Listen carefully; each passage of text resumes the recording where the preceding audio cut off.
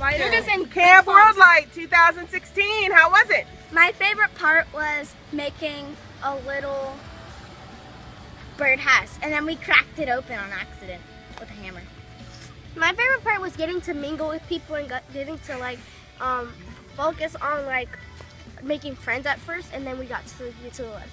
So that was my My, my favorite part was like getting to know everybody and like n- new, meeting new people, and then we get to do fun activities while we're learning about God.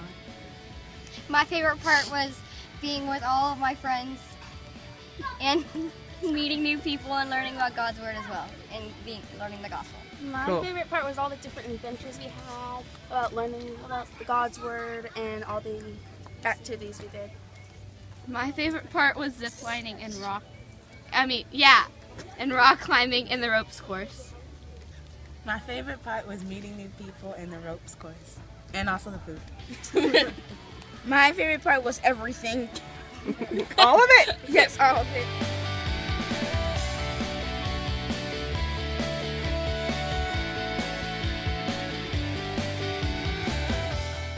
All right, tell me about last night. Last night.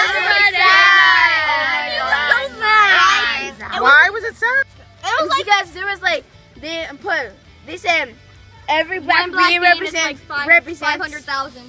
represents 500 people oh, represents don't know about Jesus. that have never heard heard Jesus, and The one white black bean only is one, one- missionary telling people.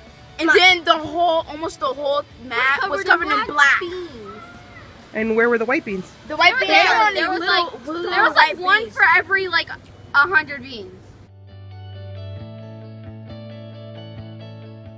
There was Well, like, from my perspective, it was kind of eye opening for me because he's he spoke through the candlelight to me, and like now, it makes me feel like I should be called to missions and I should go on more missions. Oh, and I'm Lauren. ready for missions now.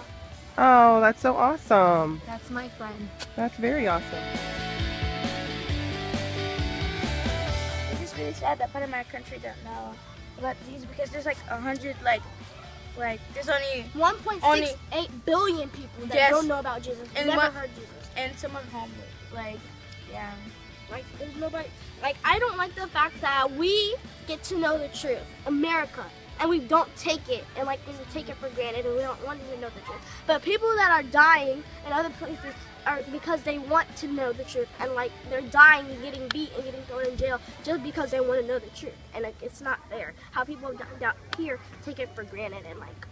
So what do we need to do about it? Like you just set Go! your Bible aside, and other people are dying to have a Bible Like just to read it. Miss, um, our cat, um, camp counselor told us a story that, like, yeah, we were visited by um one of the people that have been out of town, um, well, out of this, um, the country, and Yeah, like they Brazil? said, I think so, and like she said that she was reading the Bible and like she let the person touch it, and she said, and then the person started crying, and then she She's was like, never seen or touched a Bible. and she's like, my grandma's told me about the Bible, but I've never seen or touched one.